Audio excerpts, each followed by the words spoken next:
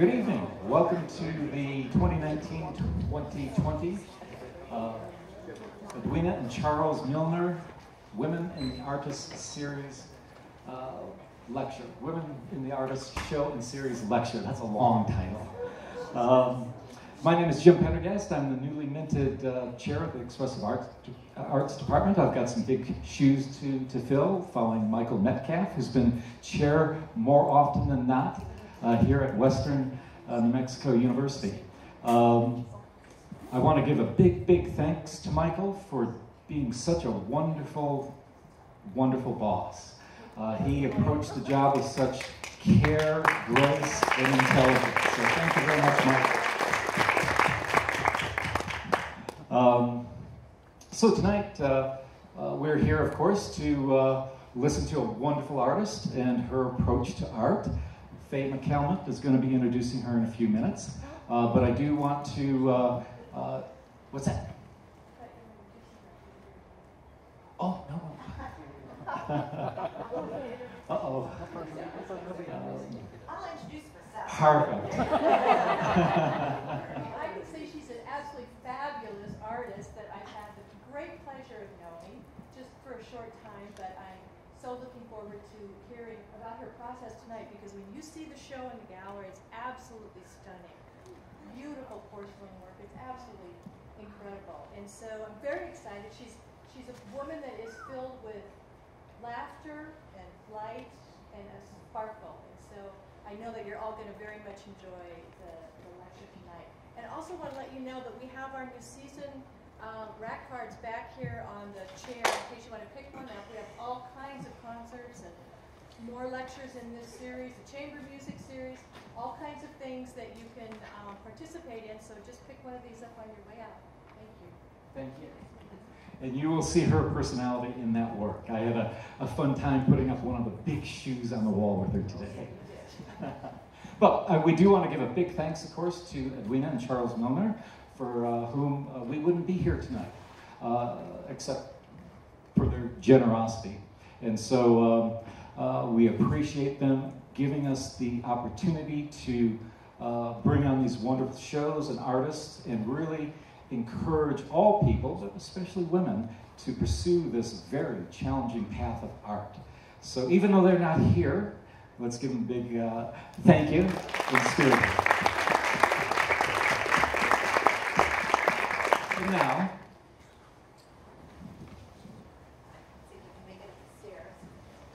Well, thank you for that very, very warm welcome, Mr. Pendergast, Director Pendergast, and thank you all very much for coming. I know some of you are still in attendance um, at the university. Some of you are living in this beautiful town, which I want to thank you all for the most incredible warm welcome. Everybody from my darling friend from high school days, Marianne Bartlett, and her darling husband Jeff, who is also videotaping. I want to give a very, very warm thank you to Dr. Joe Shepard. And I know he and beloved Valerie Plame, a very, very dear friend of mine who's running for Congress from Santa Fe, they had to jump on a plane uh, late this afternoon to head back up to Santa Fe and do some work, but they were very generous and gave a wonderful dinner party last night, to which some of you were there, and I want to thank them. Uh, and the chef, unbelievable sparkly dinner. I would also like to thank very kindly to Faye for helping organize, as well as to Chala Werber. Is she here? Stand up. I, when I say your name, would you all stand up? Marianne and Jeff Bartlett, please stand up. And Chala remain standing. And Faye, please stand. And Michael, you may stand. Mr. Michael Acosta. What a cool as a cucumber AV guy. They always are. But and there wasn't anything that he couldn't accomplish. And Big Mike, where's Big Mike? Because I can't see with the light in my eyes. Big, Big Mike was the first person I met who drove all the way up from Silver City with Michael's big van and his trailer, picked everything up, drove it perfectly. All my podiums, the glass, everything that I had given him was completely breakable. Nothing was damaged. So thank you for that. And I want to just say hopefully after the show I'll have a few minutes to actually go and experience your beautiful, beautiful city. It does remind me a little bit about of Santa Fe, but it has all of its own unique charms. So I'm just going to start off and say a little tiny bit about myself, but not much because quite a bit we will talk about in my little artist uh, video. It's about three and a half minutes long and it gives a really great overview. So I think I'd rather have you listen to me on film and then I'll just fill in the gaps and we'll leave at least 10 or 15 minutes if you would like for question and answer afterward. And Michael, go ahead, roll the movie.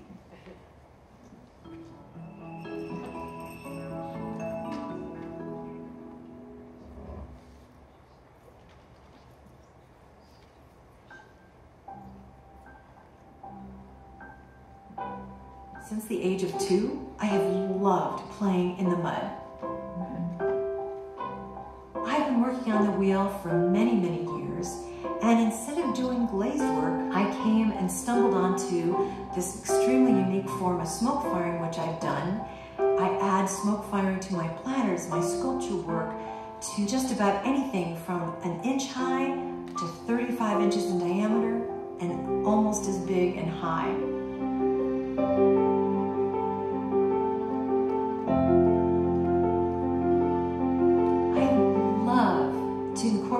Sense of humor into my work.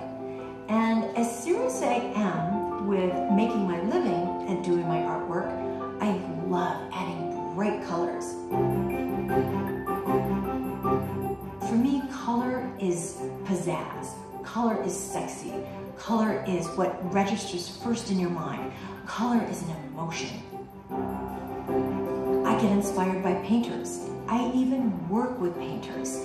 So instead of making just miniature pieces, which I used to do at Harvard when I worked in their ceramic studio, I now have expanded my horizons to work with clay and do mostly decorative works of art. Circular motion is infinity. The circular motion to me is relaxing. The circular motion to me means I am just about ready to bring something forth. Start everything with just a very, very strict cylinder, my mind just goes a million miles away. And that's when I can get different pieces that just come out out of nowhere. Sometimes I squish them, sometimes I karate chop them, sometimes I throw them up in the air and catch them. But however they result, I have to decide whether they get smoked or they get painted or I add 22 karat gold. It doesn't matter. There's always a solution to matter whatever I have made. Art is waking up and being creative. My happiest moments are literally sitting at the wheel and just making forms and shapes. What I love to do is work with my clients and collectors to actually have them slice, fold, squish in, and then tell me what colors they love. I like to incorporate them into working on the sculptures with me. And from that point forward, they get to own the pieces creatively as well as have them in their homes. Art in motion. That's me.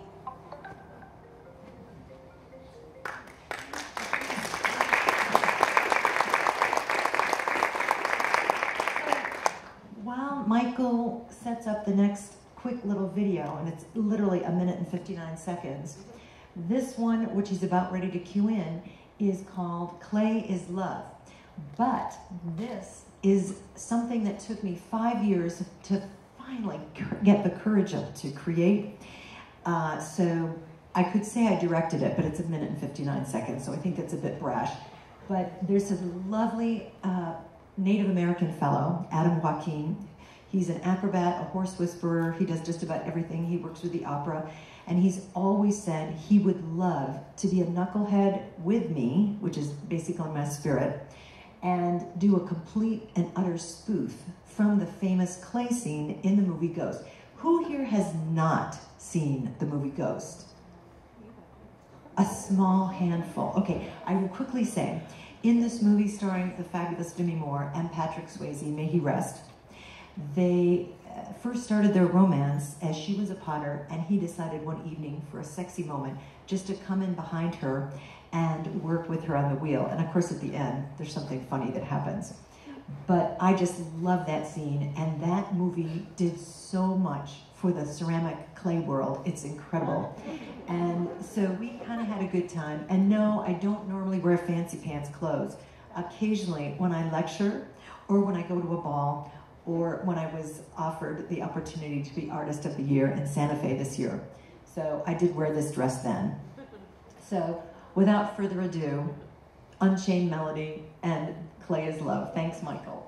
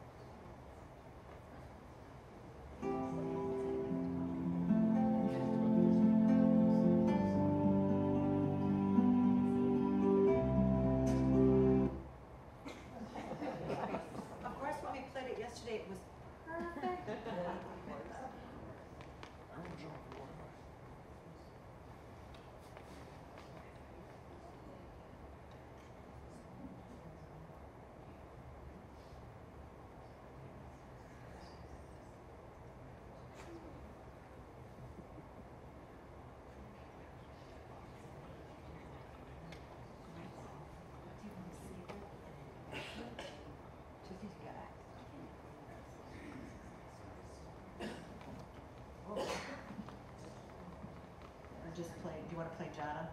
I'll, I'll give a quick intro, um, and hopefully the internet will be obedient in a few minutes. This is also a very quick video, and I will say a lot of people refer to me as a an extremely great success. And yes, being Artist of the Year is a great moniker, but I know that a lot of luck comes to people who work very, very hard. And sometimes I do, but mostly I just say I play.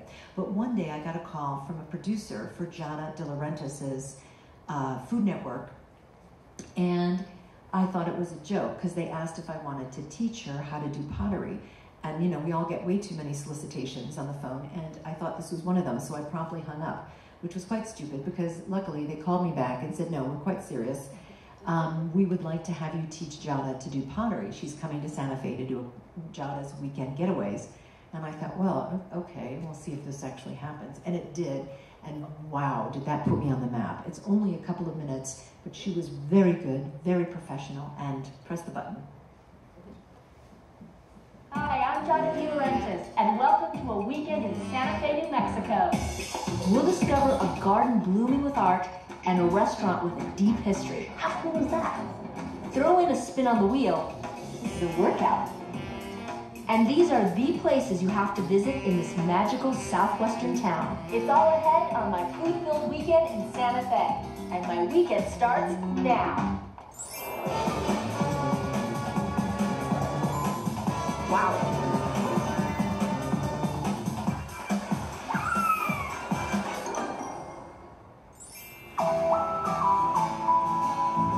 New Mexico is known as the land of enchantment. Spend time in Santa Fe and you'll discover why. Its mystical beauty attracts visitors from around the world. With a thriving art scene and award winning food, Santa Fe is the perfect three day getaway. It's Saturday afternoon in Santa Fe, a town known for creative expression. So I'm heading to Heidi Loewen's Porcelain Gallery to make my own masterpiece. Hi. Hello, John. See. Are you ready for class? Heidi's is one of the few places in Santa Fe where you can stop by for a few hours and create pottery. Heidi uses porcelain, a white clay known for its great strength. You know what? I would love to be able to just get my hands dirty on this one. You And are so know bold. You're, That's you're a little great. nervous. The texture's like cream cheese. It's like taking a bar of cream cheese and just putting your hands right through it, squeezing it. It does take quite a bit of strength. Right, and whenever you watch a person who's working on the wheel, no matter how new, it looks so easy. It does, but it's certainly not that easy. This is a workout. I kind of feel like Demi Moore a little bit. This hand, we're gonna use mostly your thumb, and we're gonna compress in the middle, and then gonna add a little bit more water. Oh my God, Perfect. it's, Disappearing. it's disappearing. Now It's gently disappearing. I Okay. sucked my thumb in like quicksand. That is so cool. It's kind of like forming dough. Like, you know, when you play with dough, you make some kind of pastry dough? Absolutely. It's like forming that. That is gorgeous. I love the contrast.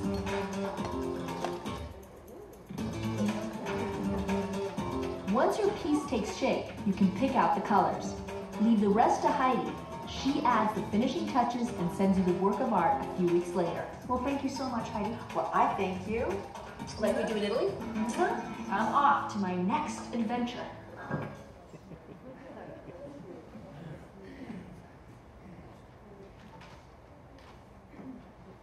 And there's another little film with Samantha Brown, but we, we may show it in a little bit. But I thought what I do is just intersperse a few words in between um, the little films and just talk a little bit about my background because I think it's always very interesting to learn how did an artist become an artist.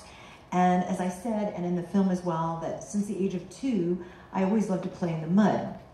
Um, and the reason probably is was in upstate New York in Rochester, there was a lot of mud, particularly because my parents were gardeners.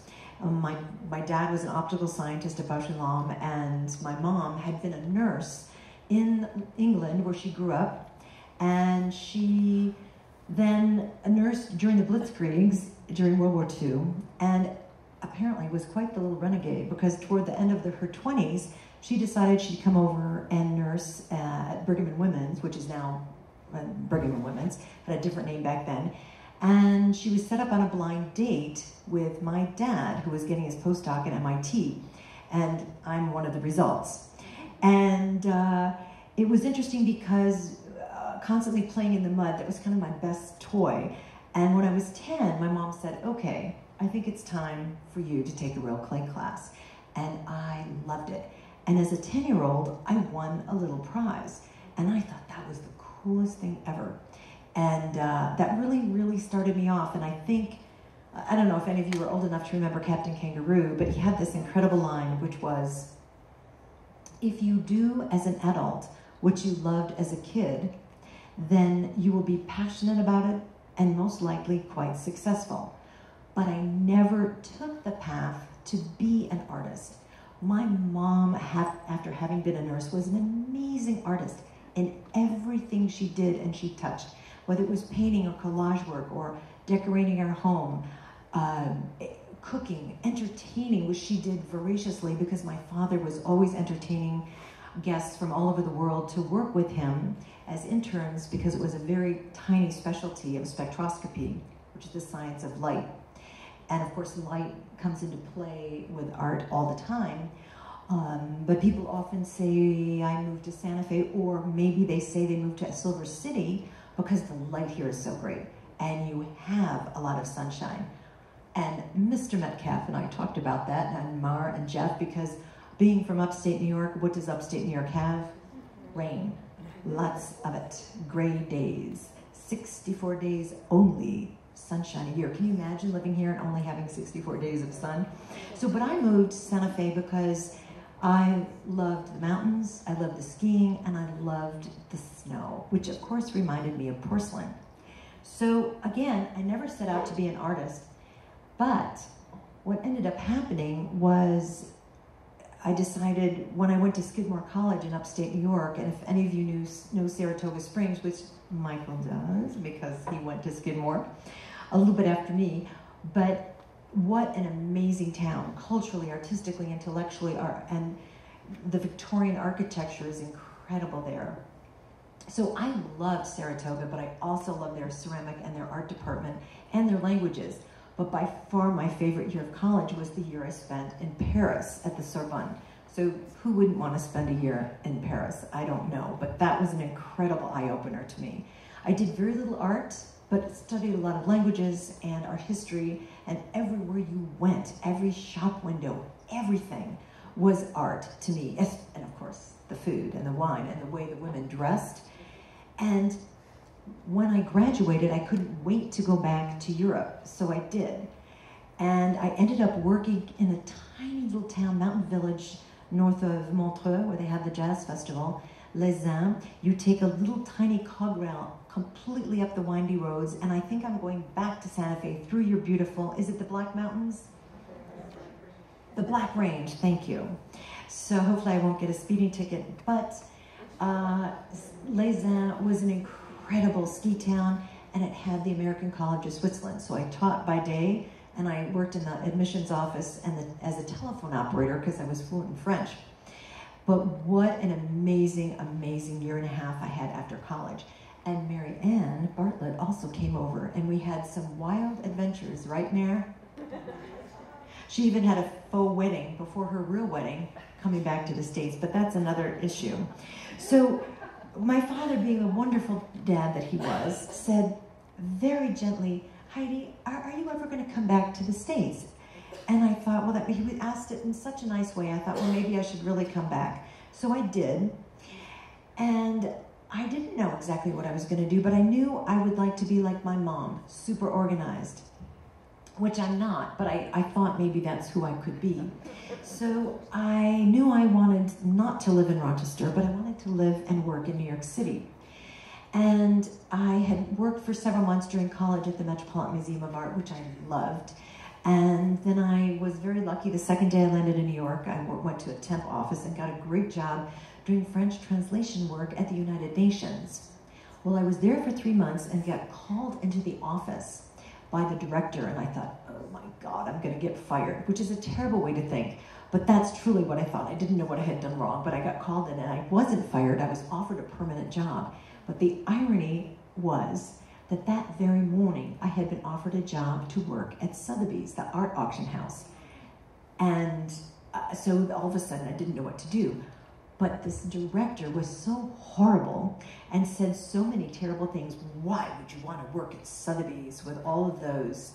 And I won't finish the sentence, it was just totally derogatory, which was actually great because that was the absolute perfect sign I needed to never work another day at the United Nations where it was incredibly sexist and on and on and on. So I took the job at Sotheby's and loved it seven years. It was fabulous. At first, it was dreadful because I worked in a terrible department. They called it the basement. And, but I worked my way up like most people can do. And I worked in the Chinese and Japanese division, which I loved. So anything, paintings, netsuke, ivories, at the time I could do ivories, ceramics, of course, fabric work, everything, jades, bronzes, and it truly was inspiring my future work, but I had no clue. And uh, after seven years of working there, my wonderful old boss, Joe Kiefer, uh, had get, gotten headhunted, which is also a terrible expression, but he got asked to help manage and run a private art foundation, Spring Creek Art Foundation in Boston, and he kindly asked if I wanted to come and be his slave. Do you see the pattern? And I said, well, Joe, I'll come and work with you, but I'm not going to be your slave. Well, of course I was his slave, but it was great. And this was an art foundation owned and managed by Bill Koch, one of the Koch brothers, you all probably know about, but we really didn't know about the older brothers at that point. But it was a fascinating seven years. And then they all moved to Florida, and my husband and I and my one year old son moved to Santa Fe. And I still didn't know what I wanted to do, but he was a baby. And when he was about a year and a half and a little close to two and starting a little bit of daycare, I thought, well, I'll just go back to Santa Fe Clay and work for a while. And uh, like Leonard Bernstein, who started to conduct because somebody was ill. And I am no Lenny Bernstein, believe me, but they asked me to teach. And I said, well, I can't teach at Santa Fe Clay, I I, I don't have any teaching credentials. And they said, oh, no, no, you'll be fine just for tonight. And I said, well, okay, I'll help out. And I loved it. And I had the best students ever. So if you truly ever want to learn a subject, go and teach it. Take the books out, take classes yourself, and then get yourself in a position where you can teach because it is a blast. How many people in the audience are teachers? Wow, wow. So you know what I'm talking about. It's so much fun to teach. So I'm going to shut up right now and let you just play. I guess let's just talk about some of the work. So, what happened in Santa Fe was after I taught and I had a blast, well, they weren't paying very much and they were kind of mean. And I, the people who directed Santa Fe Clay, and I thought, well, you know what? My husband, bless his heart, he'd been at MIT and Harvard Business School, though he hated business. And he said, Heidi, why don't you just start your own school? And I thought, oh, oh, good Lord, I could never do that. He said, well, you can and you should because you've been complaining too much. So I did listen to him and I started my own little tiny school, and lo and behold, I never looked back. It was so much fun. But then when I realized a friend of mine was moving to Italy and said, why don't you take my space? And it could be your gallery. Well, that was the last thing I thought of. I mean, I, didn't want to run a gallery, but I ended up running a gallery, and I've done it since 1995 in Santa Fe. So I'll talk a little bit about the work. Um, when I worked at the Spring Creek Art Foundation and worked for Bill Koch and managed his private collection as well, uh, which was an absolute blast, I had the opportunity to work at night and during the weekends at the Harvard Ceramic Studio, which, if you have not visited, absolutely go and visit. They have a gorgeous, gorgeous museum uh, and a, a, gallery, I should say, there, many museums, but uh, they have really a state of the art ceramic studio. And because they have such tremendous backing and funding, they are in a position to invite artists from all over the world, every single country, continent, and we have slideshows and movies and potluck dinners. So why would you not want to go? And what an inspiration. So I'll just talk a little bit about this series. Um, as I talked about in the little film at the beginning, everything I do is on the wheel except for the carved shoes. And then I just throw from a big lump and I just start throwing bigger and bigger. And the only reason I started smoke firing is because the kiln malfunctioned one day and I had a show coming up and I didn't know what to do. And a friend said, Oh, just smoke fire. It'll be fine. The natives do it beautifully. You'll figure it out. I had no clue what she was talking about, but I have been figuring it out ever since. This series, in fact, the one on the upper left, had been called Kryptonite. And it's simply a piece that's sliced, squished, folded in, and I threw in a couple of uh, titanium and opalized crystals, quartz crystals. And in the show, you'll see it as soon as you go into the gallery, and I, of course, invite you all to come and look at the show after. And this one is now entitled Silver City Kryptonite in your honor. Thank you very much. So you, you will see some uh, concepts of these pieces in the show tonight. Um, they're all done on the wheel and simply squished. And then where there is gold, it's usually 22 or 23 carats, so it won't tarnish. And then if the red is really poppy, it's because there is 22 karat gold underneath. And then on top of that, I will place a thin wash of oil paint. When that's dry, then I'll add varnish just to make it shiny, if the piece warrants. Um, and then let's just talk about the bottom middle one. You can see, I will say maybe the bottom middle one uh, toward the back, that's about a six inch diameter. And then you'll see the little piece in the middle with the handle, somewhat of an Etruscan shape, and that handle is simply braided. And there's so many different things you can do with your clay because, at least to me, it's somewhat of a liquid. It's not, of course, but when you add the water, it's lovely and squishy and mushy. So it has a sense of humor. Well, I think it has a sense of humor. Um, go ahead to the next category, anyone you like.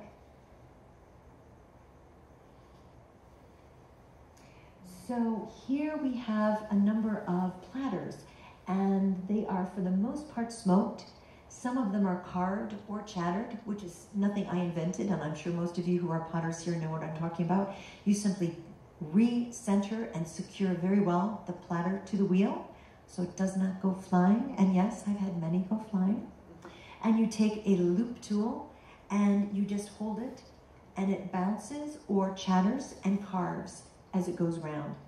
The one, the second one down, in from the right, second also in from the right, actually has copper wire. This was done for a client who had a very, very famous architect, uh, Richard Dick in Santa Fe, and their whole house is a square built around a circle. So hence that piece for them. On the bottom right is an egg, and this is actually in honor of my grandmother, my British grandmother, and my mom, who often had soft boiled eggs. So that piece is, if I take my arms like so, and the yolk is done separately, painted a bright yellow enamel, and hence the egg. Um, and the bottom two pieces, one is in Canada at the Four Seasons, and the other one was in a Biennale in uh, Albuquerque. And the one on the left has an actual, uh, looks like a silver interior, but of course it's aluminum, so it will not tarnish. And if you turn, if you were to turn it and look straight down with the handle away from you, the shape is a heart. So,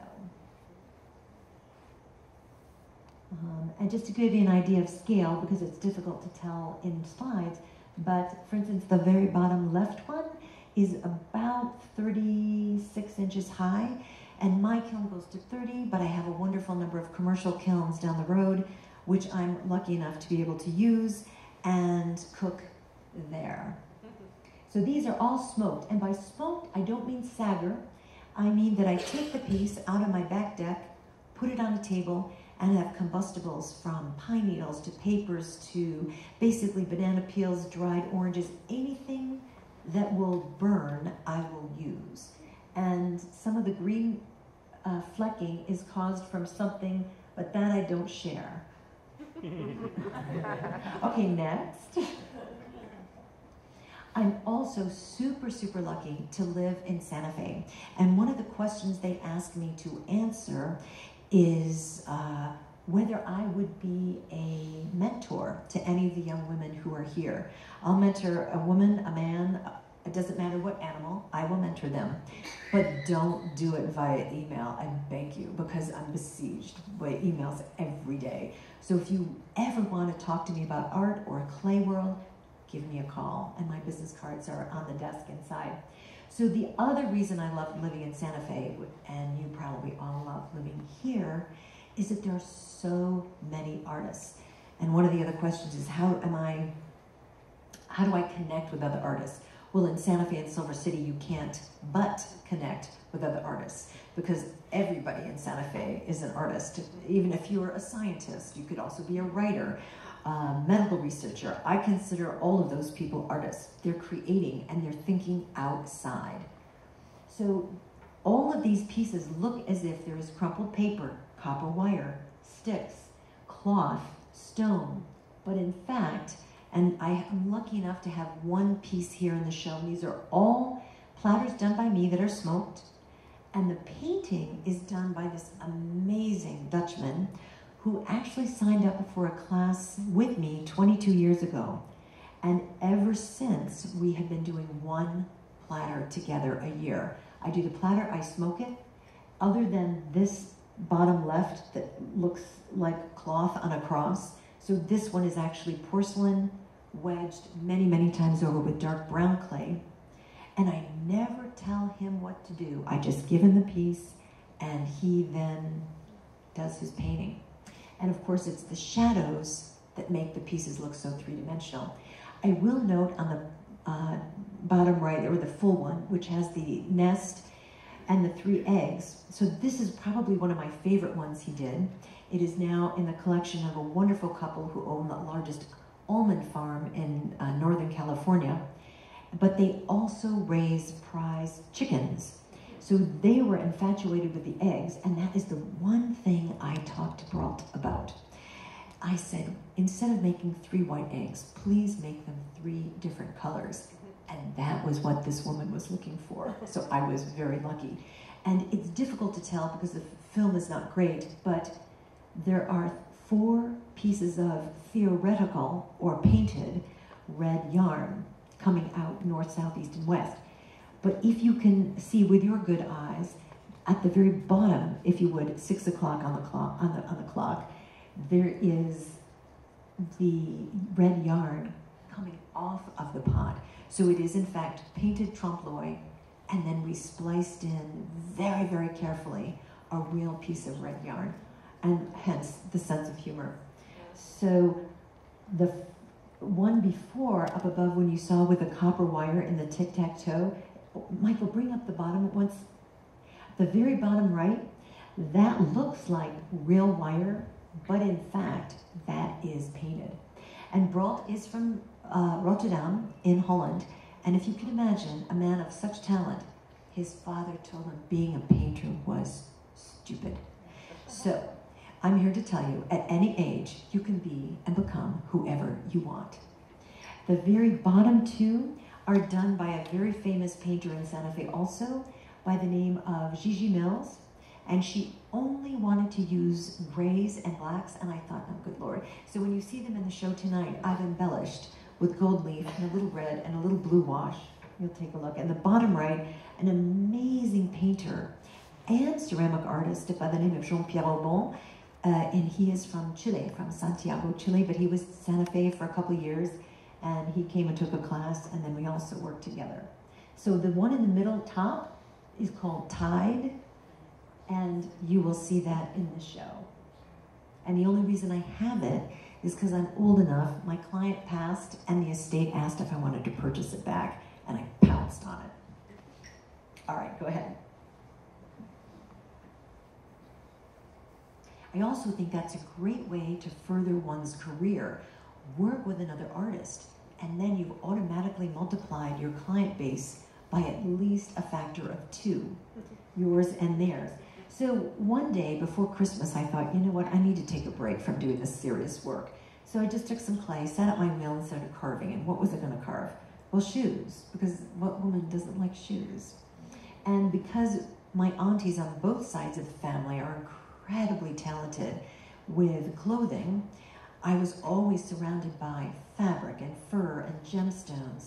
And one of my aunts, Frances Bunyard, was a super famous uh, calligrapher and stone carver. If you're ever in Boston, she did almost all the signage for the Harvard and what had then been Radcliffe, but also hospitals and a huge 15 foot wide circular plaque for Faneuil Hall downtown. So these are only about six, six and a half inches long but they're all decorated differently. And I'll just give you an example on the far left um, is called Tina, as in Turner, of course, and that one is sold. But also the next one, Diamonds, our girl's best friend. So who doesn't love Marilyn? And the next one is Arsenic and Old Lace, and top one is Come Prance with Me, and so on and so forth. I have an aversion to any art piece being called untitled. I just think that's drab and boring. It should have a story. It should invite you to think or ask the artist or just ponder. So one day I was visiting, go ahead, you can change into anything, doesn't matter. One day I was visiting a wonderful artist friend of mine who does animal sculptures in bronze. She's super, super famous. And she said, I've got to go up to my Thai metal crafters foundry. Would you like to come with me? Of course I'd like to go. And it was an incredible experience. And the owner had just taken over Karn von Singtong from his father. And he said, I looked at your website, Heidi. Why don't you send me a six inch shoe with no adornment? I can model it up as big as you like. And I can get a six foot shoe done in time for Miami Basel. This was several years ago. And he did just that. But we'll get to the shoes in a moment. So these are just a simple form in the round, a fishbowl shape, sliced, curled, and furled.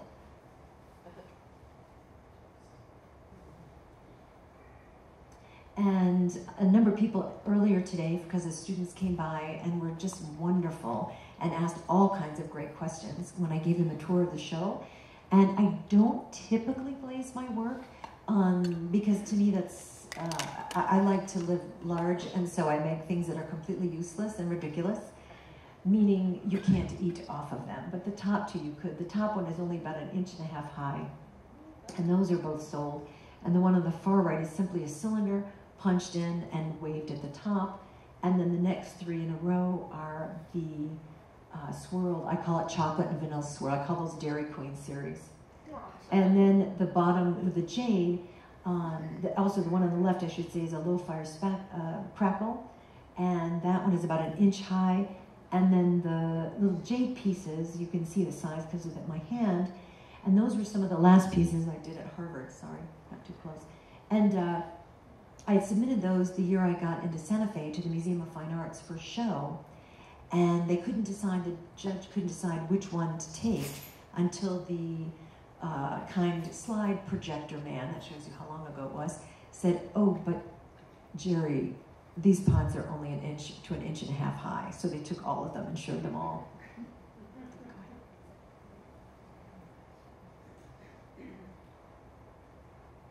So I have only one slide of an installation, and it's simply a series of white platters that are carved and in porcelain, of course, and then the interior, some of them are platinum, and the others are 22 karat. And I have three different ones that are in the show tonight. I did a series of seven, and they got placed beautifully and randomly above a two and a half story high chimney inside a gorgeous, gorgeous home in Scottsdale, Arizona. Do you want to do the shoes? There we go. So you can see here that Darling Karn Vonsingtong did a fabulous six foot cast aluminum shoe. And this six foot shoe, I carefully put uh, opalized crystals down the back spine and also on the front, which you can see more easily on the lower left slide. And I very carefully had it crated, sent it to Miami, and I won an enormous sculpture award. In fact, the silly picture of me in the middle, down below, wearing pink fluffy outfit, um, it's marabou fur inside the shoe, and I'm also wearing pink marabou, which I got in Thailand. But this was about two minutes before I discovered I was winning a big sculpture award for that. And a different shoe, but the same deep ruby red, sort of in honor of Dorothy, right, um, is on the roof of my gallery and it's at an angle such that you can see the bright blue illuminated lights from inside. And yes, because it's Santa Fe, we get tons of rain and snow, but it usually melts by noon, and there are two holes in the ball of the foot underneath, so all the moisture can drain out. And I don't get in too much trouble with the city fathers because it's not considered a permanent installation, although I consider it a permanent installation. So I think that's pretty much it for the slides of my work. But would you like to show the clay is love?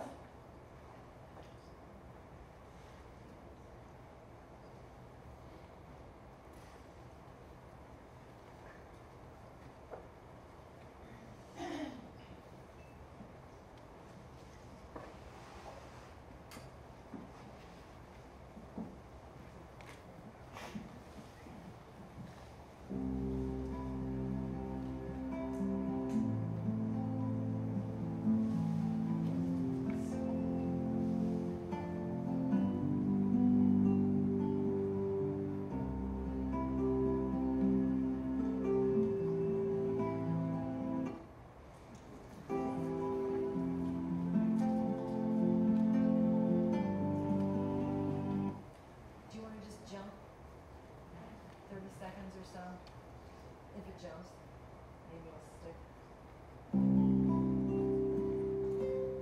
Well, that's the end. There you go. so now you've seen most of that. But you could see it in the comfort of your own Smarty Pants phone. Um, all you need to do is just click on HeidiLoewen.com. Um, I'm just going to answer a couple of other things that I should address vis-a-vis this wonderful lecture that I'm so honored to do for Edwina and Charles Milner. But one of the questions was, truly, do you have a specific mentor? And I really had to think long and hard. I have so many people in my life, great teachers like Regis Brodie, which Michael and I have both had the pleasure. You, you took many classes with him, did you not? Ah, but with with John, okay. And Regis Brodie, by the way, was in charge of the ceramic department for decades at, at Santa Fe, in, at Skidmore rather. And I've also invited him several times to Santa Fe, and he's been wonderful to lecture and, and teach and show his work. And he does huge monumental pieces, um, as big as Jun Kaneko, uh, which most, most of you know. So I can't really say I had one particular mentor um, other than myself. Um, but I will say that when I grew up, and nobody ever believed this, I was deathly shy, horribly shy. And the thought of public speaking was just horrific. But the more you do what you love, the easier it gets.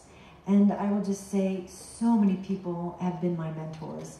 Uh, chefs have been my mentors, just the way they prepare food. Um, it doesn't necessarily have to be an artist. Um, I've learned from so many different people.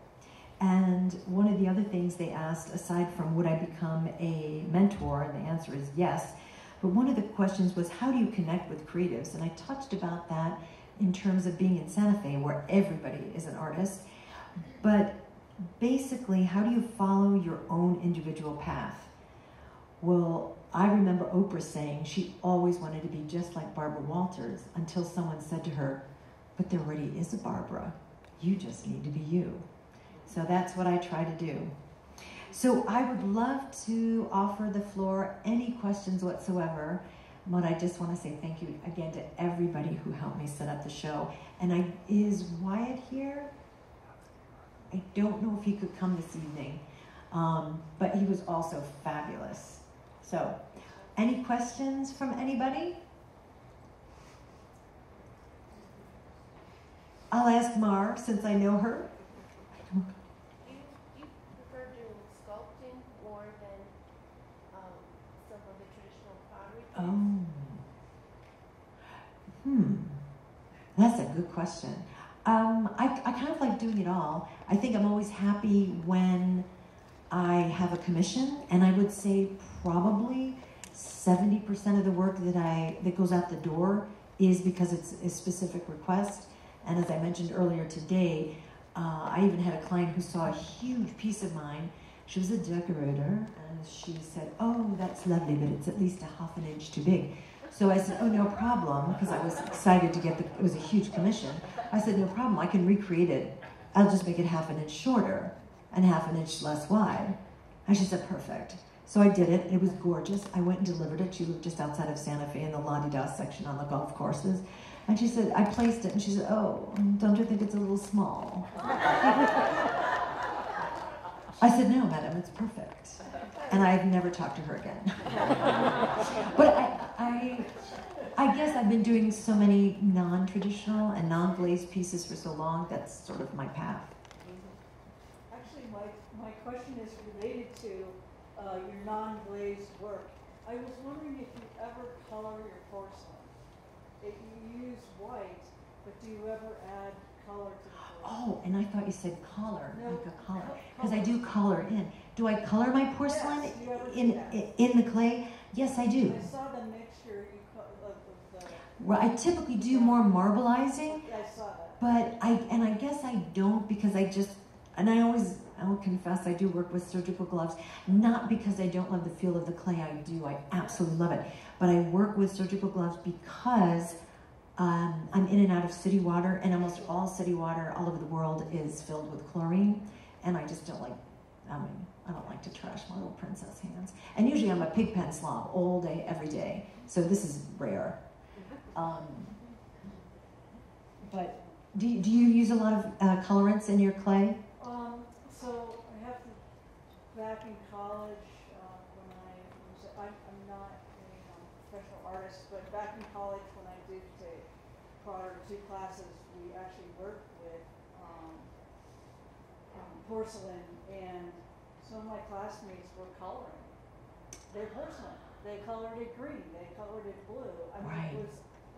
So they were adding chrome for the green, and they were adding some form of cobalt for the, to make it blue, and so on and so forth. Exactly. Iron oxide to give it that flower pot red, that beautiful Indian red that we love. Exactly. No, that's a beautiful thing to do, but no, I don't do that. No, probably probably because I'm I don't know if I'm really lazy I with mean, I love the but I mean, it's, it's, Yeah. brilliant, but I just wonder, I'm just thinking back to Well, and you know, many moons ago, right? Many moons For sure. That reminds me, um, many, many years ago, I had a wonderful woman come in, and I never know who's going to come in the gallery. And by the way, if you're crazy enough to be an artist and a teacher and a gallery owner, my hat is off to you because any one of those jobs is way more than a full time job, right? Teaching and being your own full time artist. But you also have to market your work. And most artists really don't like to market. And one of the other things I should address, because the Milner uh, lecture series did discuss, like, do you make your living as an artist? And I'm going to say yes, 100%. My income comes from being an artist. And, um, you know, I, I'm going to say that although I do think I'm one of the luckiest people in the world, as a professional, what do you have to do? You've got to create your work, and then are you doing enough? Are you doing the right pieces? Are you marketing enough? Are you pricing things properly? Are you showing enough in museums? Are you showing enough in other galleries? And I could do a number of art shows all over the country, and the Miami Basel was one of my favorites. But I'm lucky enough to live in Santa Fe, and you all here, people come to Santa Fe and they come to Silver City already thinking about art. I also was a genius. I was not a genius at all, but I pretend, because my gallery ended up literally right down the road from the Georgia O'Keeffe Museum. So, and, and you would think, though it's literally a minute and 12 second walk, they'd all come to the end of the street to visit. Nay, nay, nay, nay. They, they go as far as the O'Keeffe Museum for the most part, and then they walk right back to the plaza. But my saving grace is that my front door looks right on to the famous Santa Fe School of Cooking, pottery cooking. Perfect simpatico, right? So if you can choose your location well, bravo. Most people come to Santa Fe and they go to Canyon Road or the rail yard now for contemporary, but I'm not on Canyon Road. I can't afford those rents, nor on, on the rail yard. So I'm in a little tiny adobe building. The whole thing is 900 square feet. Um, I teach there, I create there, I break there, I clean up there, um, and I do team teaching. I also work and do corporate team building. Um, sometimes I do it in my gallery, and then I've also done quite a bit of work for a little company with a, that starts with the letter A. I'm not supposed to say what it is, but you probably buy a lot of things from them, so you can guess. Um, and I've done that for a number of years in a row, and that is a blast. I teach grown-ups to come in for their big weekends, and then also their all their children, and that is fun. And I've even hired Valerie Plain, who's with Dr. Joe Shepard, because her daughter had to be called out to a soccer game or volleyball game, and she, I said, oh well, you'll have to come now and pour the champagne to all these lovely people. And she said, oh, I'll be there in a heartbeat. And, and I was just joking, but she came and she loved it. There were some really famous authors, so she had a blast. But you never think you're marketing enough. You never think, oh, I don't. But I, I think that's a human trait, not necessarily an artistic trait. Um, do all of you think you're doing just enough? I mean, maybe you do. I, I just, I never think I'm creating enough. So, any other questions? Mikey? Darling, big, helpful Mikey? No? All right. Well, I've talked enough. Shall we go and take a look at the work? And then ask me any questions if you like. And I want to thank you all for coming.